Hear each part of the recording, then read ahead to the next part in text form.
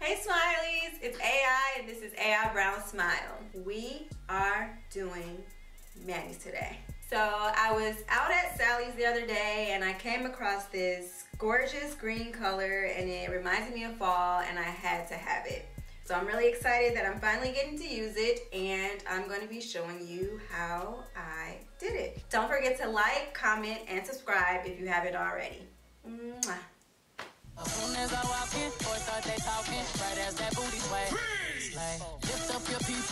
Texas, Puerto Rico,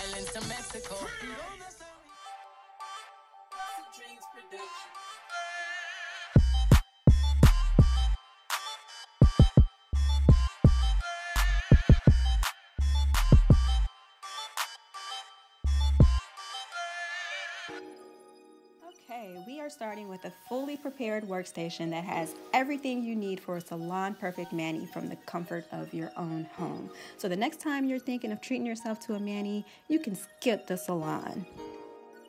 There's never a bad time to treat yourself to a mani, and I've been way too busy lately, but today I got time, girl. So, you always want to start with nice clean nails. So, step one is to do that. You're going to clean your nails. I'm going to be using a mixture of fresh lemon juice and warm water. And I'm going to use this to naturally clean and whiten my nails. Trust me, guys, it works. There's a few different mixtures you can use to do this. You can also use warm water and soap or um, baking soda and warm water as well. But you're gonna leave your nails in for a total of 10 minutes. About halfway through at the five minute mark, I like to take mine out and use a nail brush to give it a little scrub underneath my nails and around my nail beds just to make sure I get them nice and clean.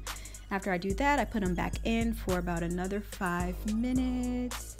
And then I take them out and use a towel to get them nice and dry.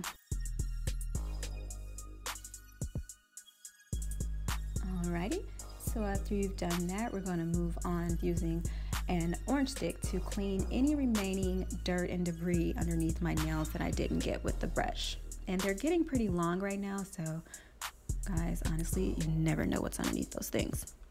So you want to make sure you get them nice and clean.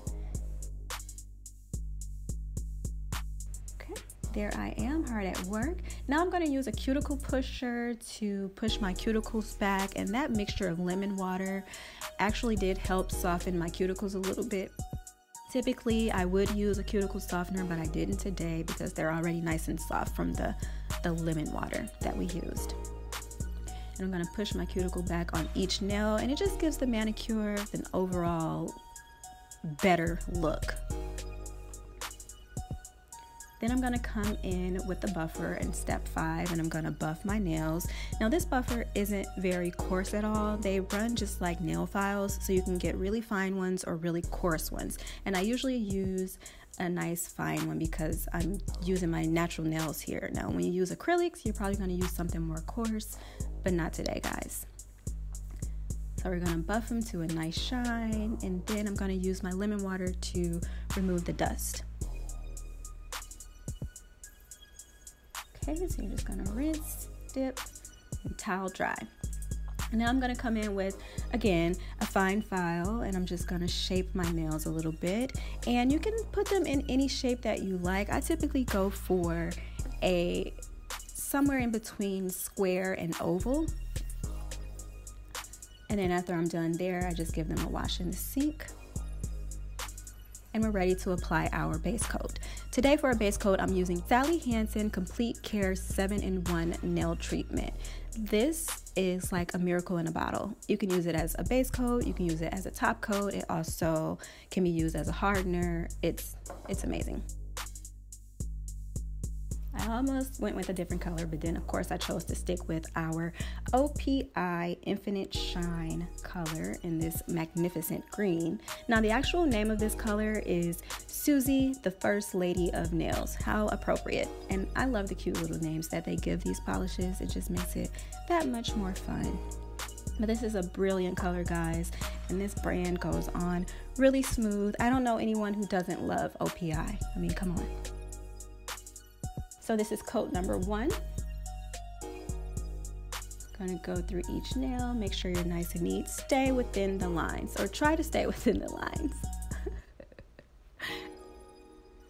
okay, so we let coat number one dry and then I always apply two coats so that you don't have any see-through areas and everything looks nice and opaque and you get the true color that way. Sometimes after just one coat, you don't get the true color.